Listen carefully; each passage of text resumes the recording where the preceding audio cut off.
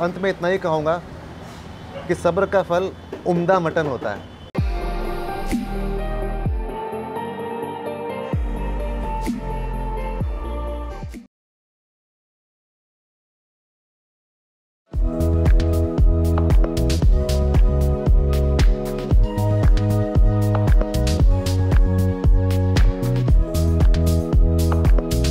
आज हम लोग अपने कानपुर फ़ूड टूर की शुरुआत कर रहे हैं बनारसी टी स्टॉल से जो कि 80 फुटा रोड में है। और यहाँ पे बहुत ही अनोखे अंदाज में चाय पकाई जाती है। कैसे ये चाय बनाई जाती है? पहले इसमें उंडे में चीनी डाली जाती है फिर दूध डाला जाता है फिर मसाला डाला जाता है फिर पत्ती डाली जाती है। और उसके बाद लास्ट में फिर मलाई फिर मलाई डाली जाती है। वो कस्टमर अगर चाहे मलाई ले और चाय ना ले। तो मलाईदार चाय होती है यहाँ। और सर कब से है आपकी शॉप उन्नीस सौ बावन से। मतलब दूध एकदम करते हुए लाल हो चुका है एकदम मलाई की छाली ऊपर से आ गई है। हाँ। एक चाय मेरे लिए बना दीजिए। हाँ। मलाईदार।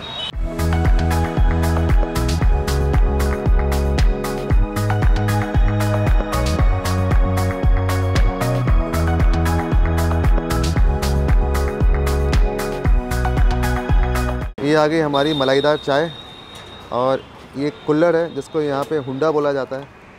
और कलर देखें बिल्कुल लाल चाय है। ऊपर थिक मलाई की छाली और बिल्कुल गाढ़ा हुआ दूध इसको कहते हैं दूध को उठाना मतलब उठा उठा के एकदम गाढ़ा हो चुका है। बहुत ही उम्दा चाय है।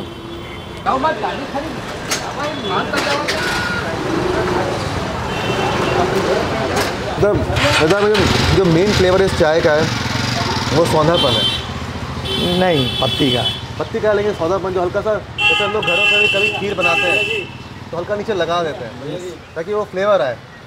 आपके यहाँ पकते हुए इतना भयंकर इतने देर से पक रही है तो उसकी खुशबू है उसका स्वाद है। आप चाहे अभी अभी ये दूध खत्म हो जाएगा इसके बाद सफ़ेद दूध भी आएगा तभी आपको फ्लेवर अलग ही मिलेगा। ये फ्लेवर नहीं मिलेगा लेकिन अब वो नहीं मिलेगा फिर आपको सफ़ेद दूध का फ्लेवर मिलेगा पत्ती का फ्लेवर जो आपको मिलेगा वो मिलेगा। लेकिन फिर मतलब ये ट्रिक है कि आपके यहाँ तब आना है जब कम से कम पतीले आधी हो चुके। नहीं सफ़ेद दूध की चाय भी आपको बहुत अच्छी लगेगी।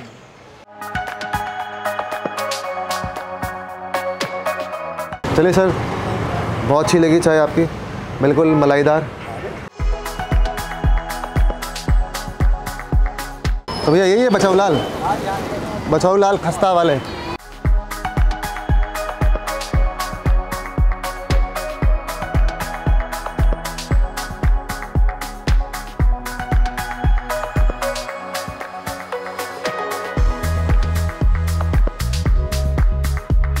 ये जो डिश है खस्ते या खस्ता कचौरी ये कानपुर की बहुत ही प्रसिद्ध ब्रेकफास्ट डिश है। और हालाँकि यहाँ पे सुबह से शाम तक ये मिलता है। कहीं पे सादा खस्ते मिलते हैं कहीं पे सत्तू स्टफ़ भी खस्ते के बारे में पता चला। यहाँ पे मूंग दाल का खस्ता है। अंदर ने मूंग दाल की स्टफिंग की गई है। और साथ में ये छोला आलू की सब्ज़ी मसाले वाली प्याज और रायता मिलता है। ये जो दुकान है इसका नाम बचऊ लाल है। इन्होंने नाम बदल के राहुल स्वीट्स नमकीन कर दिया लेकिन लोकली लोग इसे बचाव लाल के नाम से जानते हैं जो यहाँ के लोकल लोग हैं। बहुत शानदार खस्ते हैं। खस्ते मतलब बोले तो कड़क। कड़क। कड़क कचौड़ी। और साथ में मसाले वाले आलू और छोले। छोले लाइट है माइल्ड स्पाइसेस के साथ में। चटनी है जो थोड़ी स्पाइसी है। और जिसको ये रायता बोल रहे हैं ये तो बिल्कुल पानी की तरह है। पानी की तरह रायता नहीं है। रायता नहीं है मट्ठे की तरह है। मट्ठे से भी पतला है।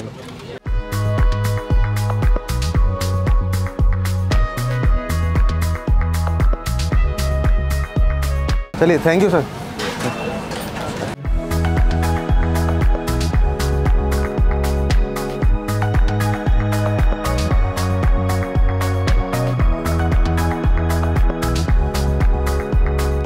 ठग्गू के लड्डू कानपुर की पहचान है। जी जी जी जी।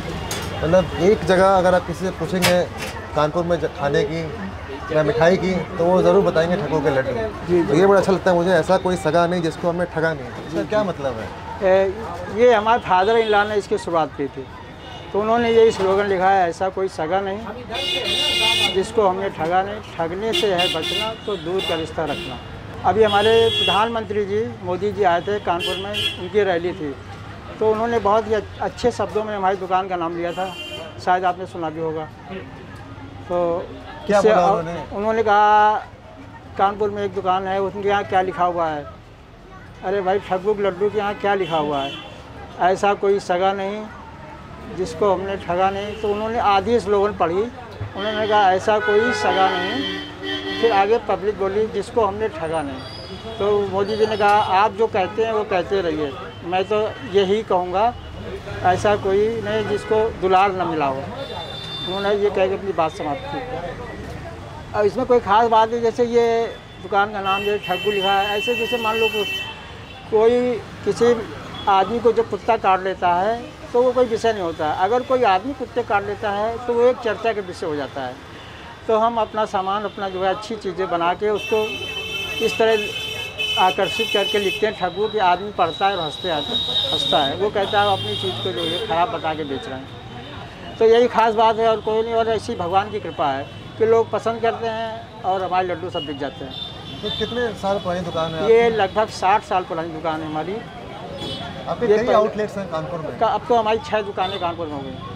तो एक ही जगह बनता है तैयार होता है? ये सब बनता है एक ही जगह उसके बाद सारी दुकानों में गाड़ी है उससे जाता है। और ये जो लड्डू है इसमें क्या क्या चीज़ें होती हैं? इस पर मेन मेन इसमें खोया होता है ताज़ा खोए से और सूजी होती है। और इसमें देसी घी डाल के इसको भूना जाता है। भूनने के बाद इसमें शक्कर की चाशनी बनाई जाती है। उसके बाद ये उसमें डाल के भिगो के तब ये दूसरे दिन बन के तैयार होता है। फिर उसके बाद इसमें मेवा मिलाई जाती है इलायची। और बाकी कोई कलर नहीं होता इसमें। पर ये लोगों को पसंद आता है इसमें गोंद की मात्रा बहुत होती है। और कितने दिन तक चलता है ये? ये दस बारह दिन आराम से आप इसको यूज़ कर सकते हैं। और एक ही तरह का लड्डू है आपके यहाँ? हमारे यहाँ दो तरह का है एक बादाम पिस्ता का है एक काजू खोया गोंद का है। काजू और? काजू खोया गोंद का होता है। मुझे बादाम पिस्ता वाला ये बादाम पिस्ता का है। एक पीस टेस्ट कराइए खोया सूजी पिस्ता बादाम शक्कर गोंद से तैयार ठग्गू के लड्डू। आइए अब इसका जायका लेते हैं।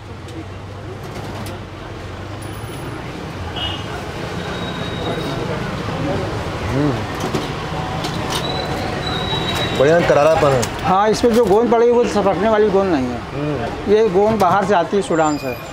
ये गोंद होती है चपकती नहीं दांतों में। सूडान से आती है? ये सूडान की होती है। अफ्रीका? हाँ। हमारी दुकान में बहुत कलाकार आए जैसे अभिषेक बच्चन और रानी मुखर्जी पिक्चर ही बनी थी बंटी बबली। बंटी पर लिखा हाँ उसकी शूटिंग यहीं हुई थी। वो हमारी दुकान में आके बैठे थे उन्होंने वहाँ शूट किया था। वो पिक्चर कानपुर में बहुत चली। मतलब सभी जगह चली पिक्चर। तो उसमें उन्होंने बैठ के यहाँ पे खाया था लड्डू और कुल्फी।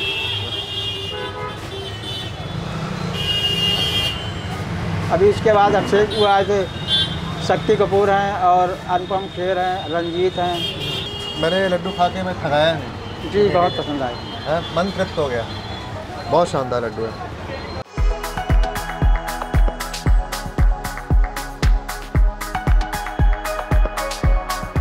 मेहमान को चखाना नहीं, टिक जाएगा। चखते ही धुआँ और जेब की गर्मी गायब। ये दोने में सर्व की गई है रबड़ी, केसर, पिस्ता, कुल्फ़ी। और ये वेट के हिसाब से दिया जाता है। पाँच सौ रुपये प्रति किलो।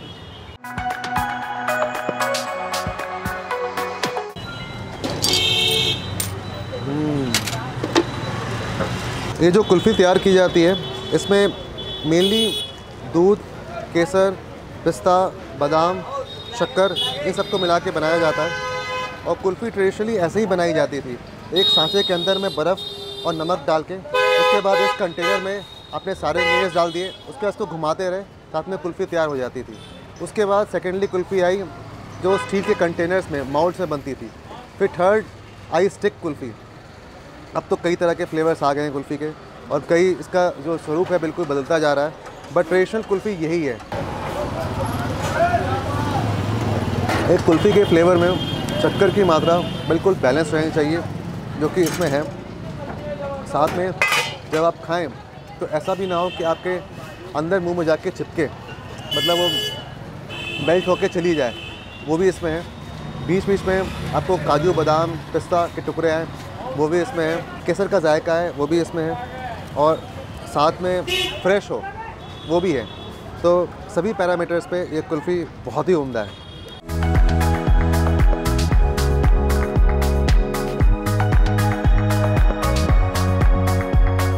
चलिए धन्यवाद मुन्ना जी अच्छा।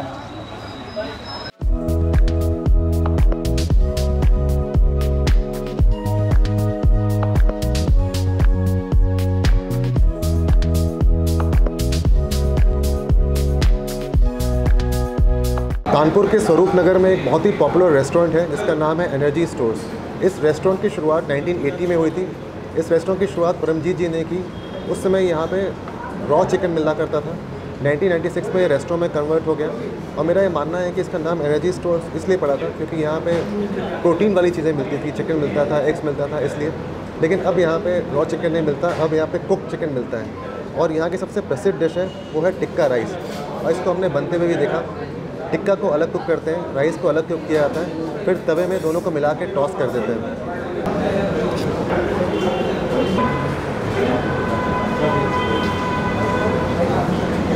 तो आप इसको टू इन वन कह सकते हैं। इसमें बिरयानी का जायका भी है और फ्राइड राइस का जायका भी है। क्यों? क्योंकि जो चावल पकाया गया है, वो दम स्टाइल में पकाया गया है। और उसके बाद तवे पे इसको चिकन के साथ मिला के फ्राई किया गया, मसालों के साथ मिला के फ्राई किया गया। तो आपको दोनों ही जायका इसमें मिल रहा है।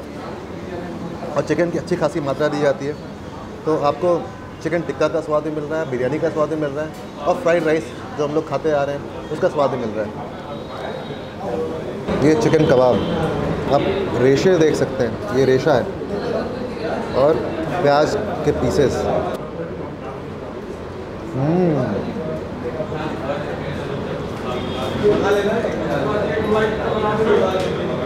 बहुत ही उम्दा।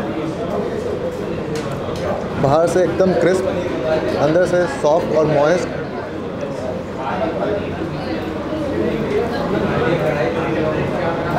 हल्की मात्रा में प्याज का इस्तेमाल किया गया। है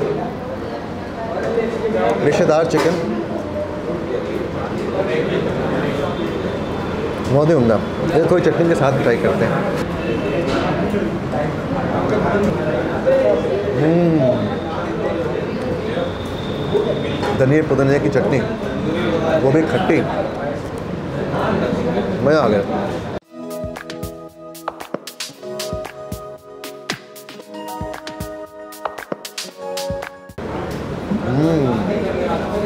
चिकन का मॉइस्चर बरकरार।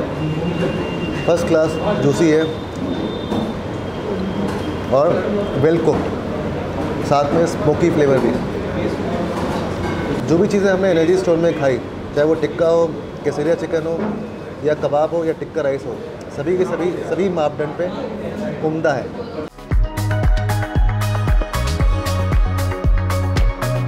एनर्जी स्टोर्स में चिकन खा के काफ़ी एनर्जी आ चुकी है, चलते हैं नेक्स्ट स्टॉप पे।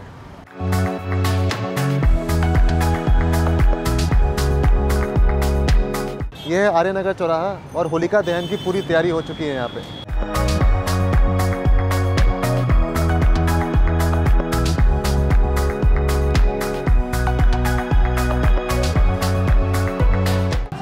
राहु जी कितने साल हो गए आपको यहाँ पे?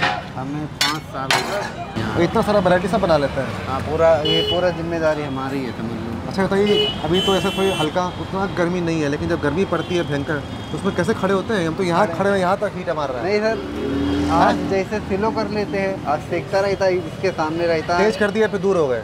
हाँ नहीं। स्लो किया फिर सामने आ गए ऐसे? हाँ ऐसे मैं हाँ, जैसे। जला लिया हाँ, हाँ। जलाने के बाद मैं ऐसे खड़े हो गया अच्छा। इस साइड में। ऐसे हाँ ये हो- ठीक है साइड हो जाते हैं ना। हाँ, साइड में वरना तो हो। एकदम जाते जल जाए इंसान का। हाँ ज़्यादा फिटिंग रहती है लेकिन हम लोग बहुत आग से बहुत काम कर रहे हैं आग में। बेकरी में पहले बिस्किट बना लेते थे। बिस्किट के सामने बहुत तेज़ी आँच होती है उसके वहाँ से कर ले फिर यहाँ से। यहाँ बहुत कम लोग खड़े हो पाते हैं मशीन पे। मेहनत वाला काम है। हाँ। तो ये जो है चिकन का ही फैट गिर रहा है। इसमें फैट भी ऐसे लगाते हैं। फैट भी होता है तभी तो अच्छा आता है। वरना फैट ना पूरा सूखा तो कांच है। हाँ ड्राई हो जाता है। मतलब ये ट्रिक है। कि चिकन को अगर आपको अच्छा मॉइस्ट बनाना है जो इस्तेमाल किया जाता है तो फैट के पीसेस हों साथ में ड्राई पीसेस जो होते हैं वो भी हों तभी स्वाद आता है जूसीनेस आता है। तो हमारे लिए बनाइए तंदूरी शवरमा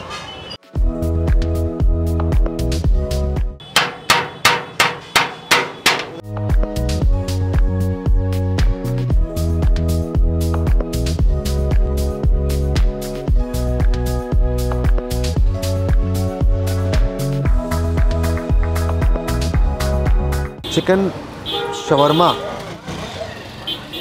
ऊपर में तंदूरी सॉस, मेयोनीज़। ये अंदर में चिकन के चंक्स हैं। नाम के पीछे ना जाएँ। नाम अलादीन इसलिए है, जैसे अलादीन का चिराग होता है और जो आपकी इच्छाएँ पूरी करता है, वैसे ही इनका ये मानना है ओनर का कि शौरमा खा के जो आपकी शौरमा खाने की इच्छा है, वो पूरी हो जाती है।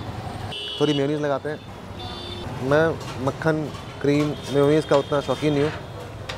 कभी कभी आप लोगों के लिए खा लेता हूँ। वाह रामू जी बहुत बढ़िया बना है एकदम टेस्टी बना है चिकन में क्रिस्पीनेस भी है, साथ में जूसी भी है, मसाले लाइट हैं और अच्छी मात्रा में फ़ैट का भी इस्तेमाल किया गया।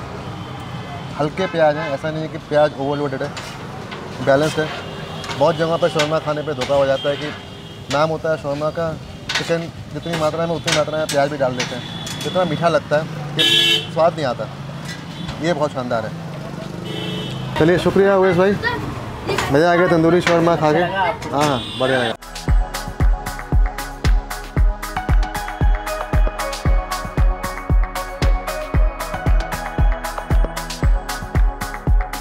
ये कितने साल से चला आ रहा है हमारा ये तीस साल हो गया भैया। तो थोड़ा सा बताएँगे इसका बनाने का क्या प्रक्रिया है? जैसे पहले तेल हो गया फिर प्याज हो गया लहसुन अदरक हो गया फिर टमाटर है उसके बाद दही है जब सब पूरा भून के तैयार हो जाता है उसके बाद मटन डाल देते हैं। तो ये पानी है इसमें आपने पानी एक बूंद भी डाला नहीं एक बूंद हमारा पानी वहाँ छुआ भी नहीं। तो ये रस्सा जो आ रहा है ये तेल पहली बार तेल उसका दही का फ्लेवर उसके बाद ये बकरे का जो मीट जो पानी छोड़ेगा उसका तो आपके जो और भी आउटलेट्स हैं कानपुर में वो भी यहीं से बन के जाता है? यहीं से बन के जाए बनता यहीं से? यहीं बनता जो स्वरूप नगर स्वरूप नगर है बस- नौबस्ता है कल्याणपुर है वो हम लोग यहीं से बनाकर तौल कर उनको देते हैं।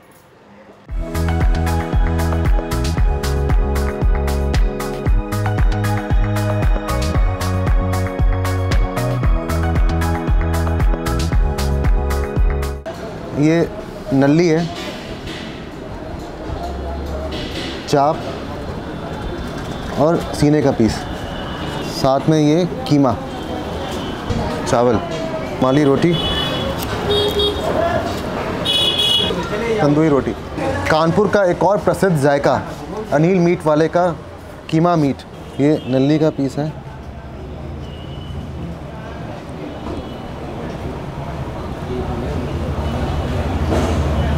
साथ में हमारा कीमा।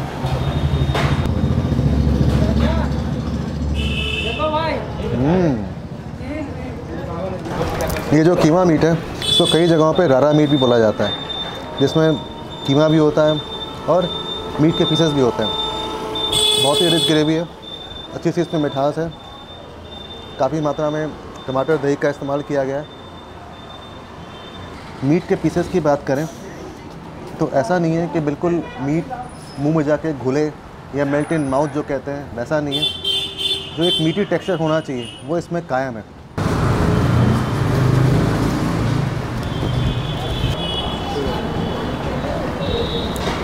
बहुत टेस्टी है। मीट पकने के बाद इसमें जो गरम मसाला डाला गया है, उसका जायका भी आ रहा है और साथ में खुशबू भी बहुत उमदा आ रही है। मुझे लगता है अनिल मीट वाले का कीमा वाला मीट है, इसको खास बनाता है इनके पूरे परिवार की मेहनत। पूरा परिवार लग के इस मीट की कटिंग कैसे हो रही है? कैसे इसे पकाया जा रहा है? दुकान में ग्राहकों को सर्व करना, वो सब इन परिवार के लोग साथ में मिलकर करते हैं। तो इससे इसका स्वाद, जो कंसिस्टेंसी है, वो बरकरार रहती है। ओवरऑल इस कीमे वाले मीट का एक्सपीरियंस अच्छा रहा। हालाँकि काफ़ी मशक्क़त करनी पड़ी। यहाँ पे आने के लिए दो चक्कर लगाने पड़े। बस अंत में इतना ही कहूँगा कि सब्र का फल उम्दा मटन होता है।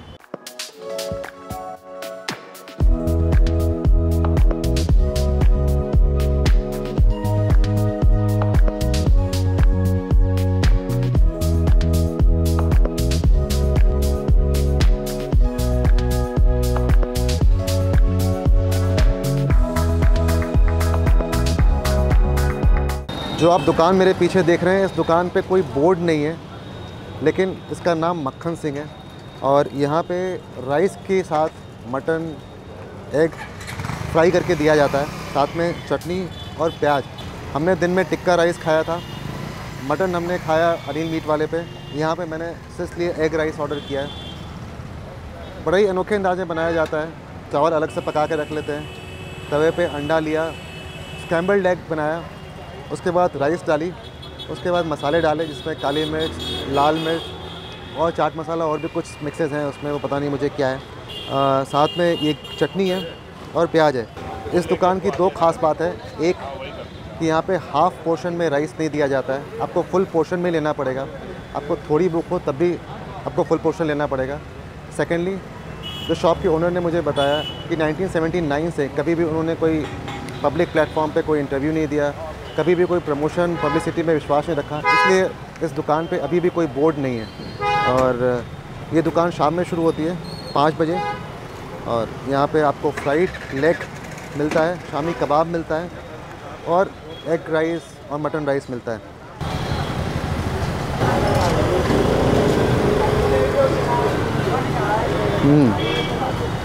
सबसे प्रोमिनेंट फ्लेवर चाट मसाले का है और काली मिर्च का है।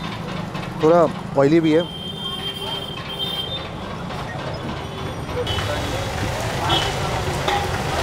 अब ये चटनी के साथ खाते हैं। हम्म। ये जो चटनी है, ये अमचूर की चटनी है।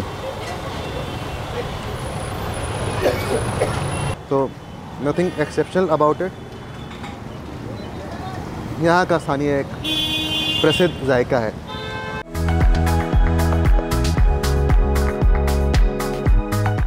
से लगा रहे हैं दुकान?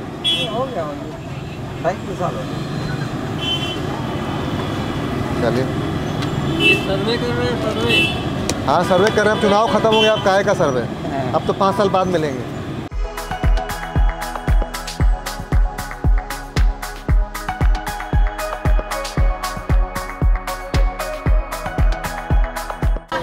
रिक्शा पे बैठ के चाय पिया जाए। बेंच उंच नहीं है तो क्या करेगा इंसान? जो पैसा लेगा दे देंगे। हम्म, शाम की चाय तो आदमी तसल्ली से पिए। हाँ हाँ। अब थोड़ा मज़ा आ रहा है अब थकान थोड़ी मिट रही है। कानपुर में दो दिन से तहलका मचाया हुआ है हम लोगों ने। जगह जगह जा रहे हैं खा रहे हैं। कहीं पे अच्छा अनुभव हो रहा है तो कहीं पे अच्छा अनुभव नहीं हो रहा है। एक बात तो ज़रूर कहूँगा कि यहाँ पे लोग उतना पता नहीं मुझे ऐसा महसूस हुआ उतना खुल के लोग बात नहीं करते हैं खासकर जो भी शॉप ओनर्स हैं। जहाँ भी गए हैं कहीं ना हमेशा ये रहा है कि आप हमारी खाने की फ़ोटो ले लीजिए हमारे खाने की वीडियो ले लीजिए पर हमें ना दिखाइए। तो पता नहीं ये हेजिटेशन क्यों है लोगों में। अ, पर यही अनुभव है हर शहर का। सभी पाँचों उंगलियाँ बराबर नहीं होती है वैसे ही पाँचों शहर बराबर नहीं होते हैं। सब शहर का अपना कैरेक्टर होता है।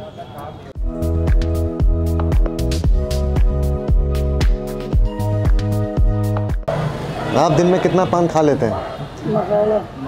मसाला। मसाला? खाते। हैं? लेकिन मसाला से अच्छा पान है क्या?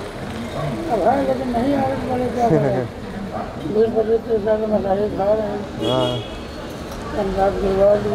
यहाँ पे हम देखें हैं, कानपुर में सब लोगों का दांत। मतलब ऐसा कोई आदमी मिला नहीं कि जो जिसका मुँह नहीं चल रहा हो। जहाँ भी गए लोगों का मुँह चल रहा है। कहीं पान है तो कहीं पान मसाला है। इसी के साथ आज के कानपुर के जायके का सफ़र समाप्त करते हैं। हम फिर मिलेंगे कानपुर के नए इलाके में नए जायकों के साथ। तब तक कीप वॉकिंग कीप एक्सप्लोरिंग